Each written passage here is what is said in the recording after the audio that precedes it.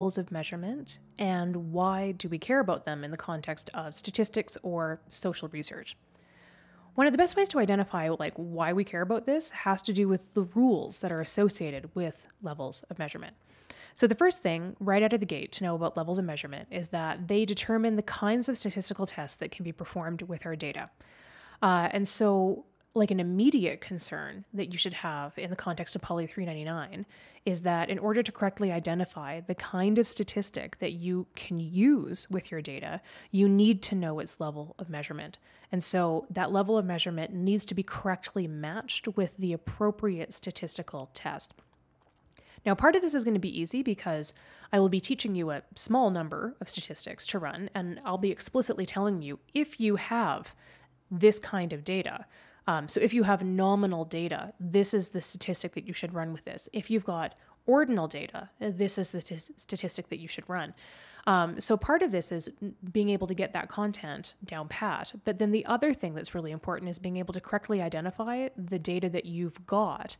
Uh, and once you can do that, then you can match the appropriate statistic to the kind of analysis that you want to do. The second reason why you care about levels of measurement is that depends on the thing that you're measuring, right?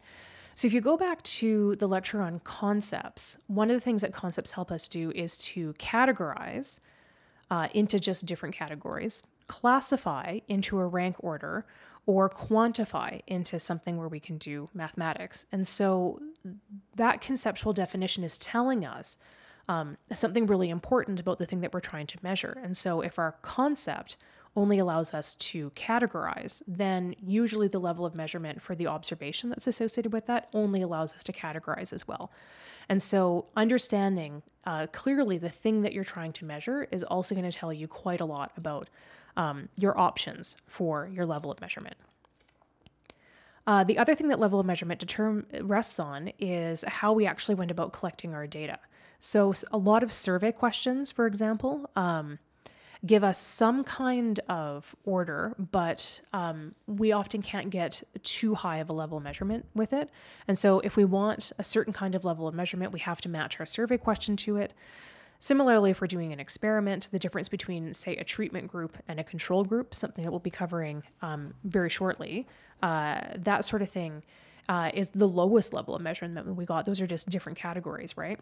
Context analysis, content analysis is the analysis of text. And so the choices that we make in terms of how we actually want to analyze text um, will definitely have a big effect on things like levels of measurement. So if you've taken Poly 397, um, you should, like, some of these ways of like gathering data should be familiar to you. And the choices that you make in your data collection will directly affect your level of measurement as well.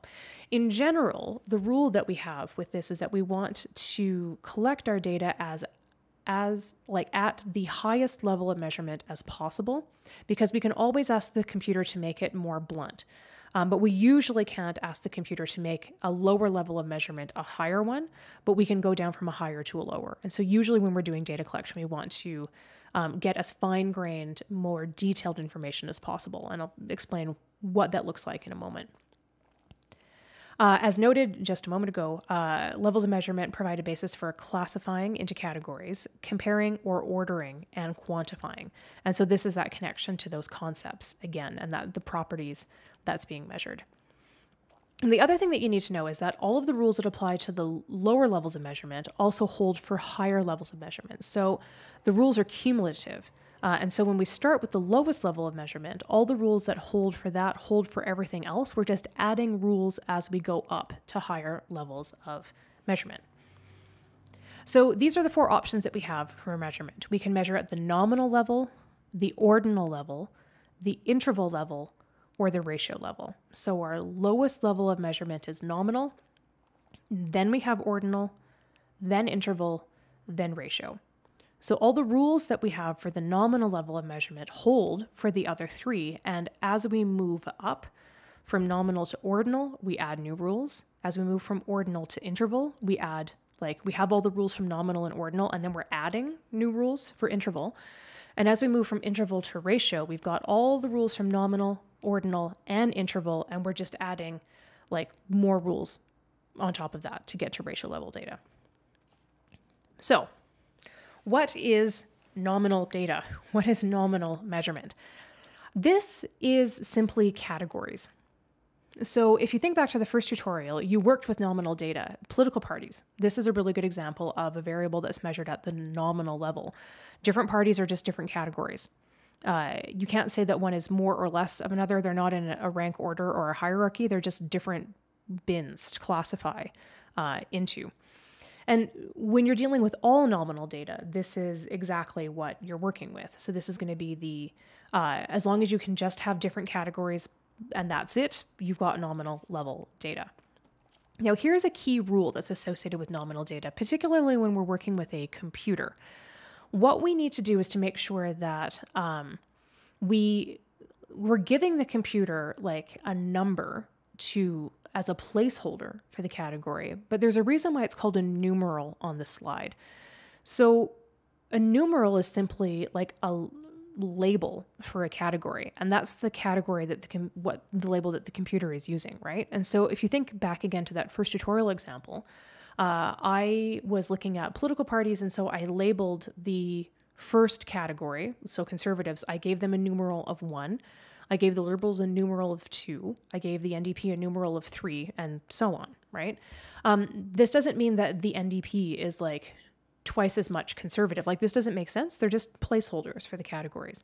And so, when you're working with your data, you need to remember that you need to give each category its own numeral.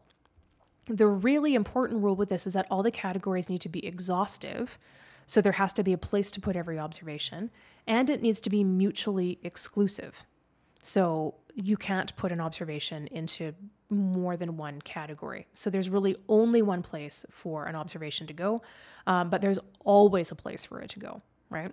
Here we're just dealing with different categories. This is like chocolate, vanilla, strawberry, um, different types of political parties. If you're measuring gender, um, well, it's understood theoretically speaking that gender is a continuum, and similarly, sexual orientation would be a continuum as well. Um, for the purposes of how we'd measure this in a survey, usually I would see them as different categories um, that you're not going to put into any kind of rank order, right? Something along those lines. Uh, any question that has a yes no answer would be nominal. Um, if you're asking people what province they live in, this would also be nominal. They're just different categories, right? How is ordinal different? If you're asking yourself, ordinal's got to be different because we're introducing a rank order, then you would be correct. The kicker for ordinal is that we still have mutually exclusive, exhaustive categories. So, completely mutually exclusive, but also exhaustive. Uh, so, every observation can go into one category and one category only, but there's always a category for it to go. But with this, we actually have um, an order. So, we can say that there's more or less of something. The key for ordinal data, though, is that we can only say that one category has more of the property. We cannot say how much more of the property that they have. And the reason why is that we do not know if the distance between each category is equal. And we don't know if when people are answering a question that they're thinking about the distance between each categories uh, as equal as well. Like we just this is information that we don't have and so we have to operate as if we don't know that those distances are equal. A really good example of this is something called a likert scale or a likert style question these questions are usually uh, anything that measures something on a like, do you agree or disagree with this particular statement? And then people would be given the option to say that they strongly disagree, that they disagree, that they agree, or that they strongly agree, right? And if you think about that, you can see that there's a clear ordering of agreement, like strongly disagree to agree, but we have no way of knowing if there's like a standard way for people to be thinking about the distance between those categories. So for some people, the distance between um, disagree and agree could be huge. Uh, and it could vary by the kinds of things that we're asking them to agree or disagree with, right? Um, and the distance between if somebody is strongly disagrees or just disagrees, say, could be a lot smaller. Um, and so, in that sense, we have good reason to believe that the gaps across categories will be bigger or smaller depending on context and depending on the thing that we're asking about. And so, we can just say that there's an order and we absolutely have to respect that order. Um, but we can't say that the gaps between the categories, um, we, we have to assume that they're different. we have really good reason to assume that they're, they're different. So, what does this mean for interval data?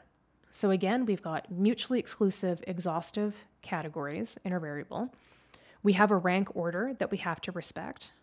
But if you're saying, oh, interval means that I have even intervals between my categories, you would be correct. Uh, interval means that we know that the distance between each category in the thing that we're measuring, that they're the same, uh, or that they are even. Uh, the interesting thing, though, is that we can, still can't do math at this stage. So we still can't say that one observation is twice as much of the thing that we're measuring um, as the other because um, zero usually means something other than zero. So, a really good example of an interval scale is temperature. If we're looking at the uh, centigrade temperature scale, zero doesn't mean the absence of temperature. Zero means that um, water freezes. It's analogous to 100, meaning that water boils, right? But we still know that the difference between like 9 and 10 degrees is like the same gap as the difference between 53 and 54 degrees, right? And so the steps that we take on the measurement are even and identical no matter where we are in the scale. It's just that zero usually means something. Uh, it means something other than zero. Like it, zero is a numeral, that we're assigning meaning to. Zero is not the number zero. It doesn't mean the absence of the thing that we're measuring, it means something else.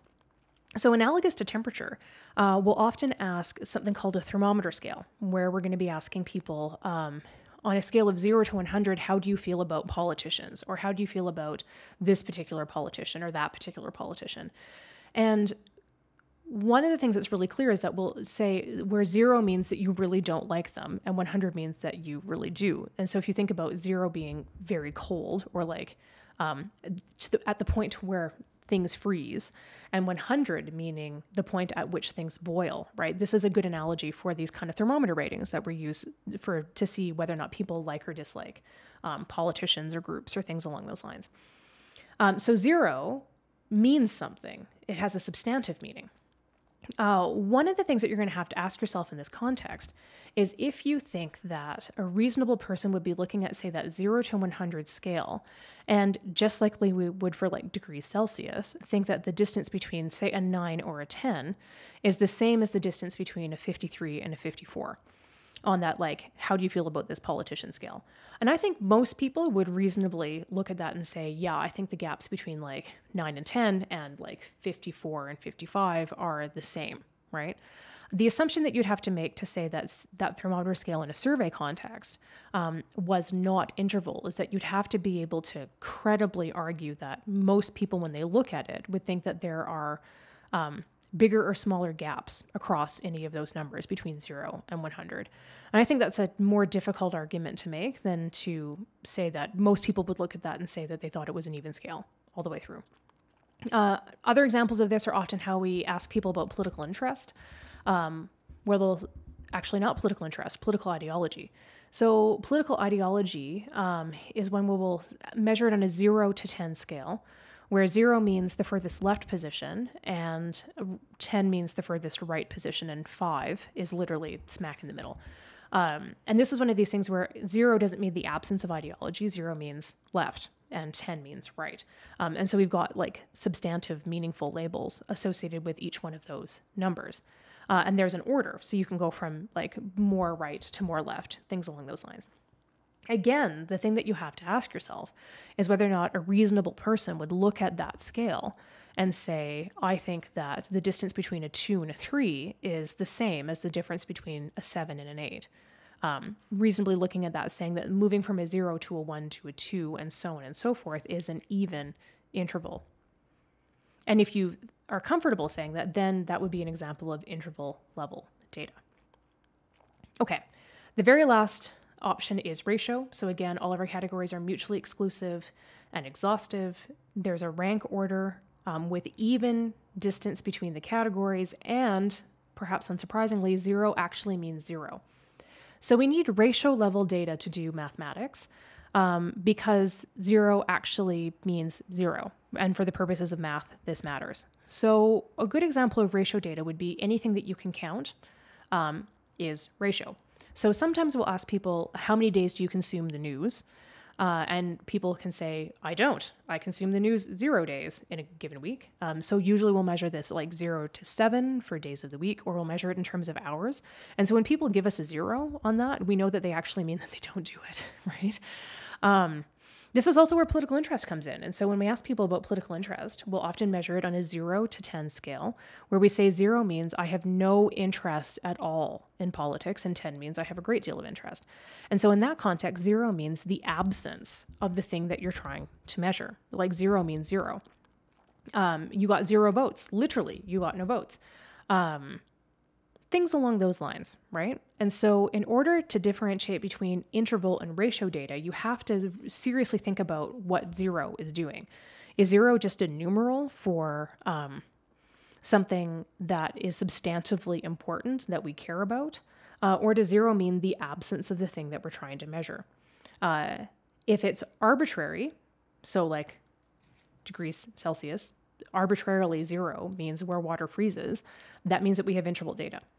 If zero is not arbitrary and zero literally means zero of the thing that we're trying to measure, like zero votes, zero coalition partners, um, zero candidates, things along those lines, then we've got ratio level data.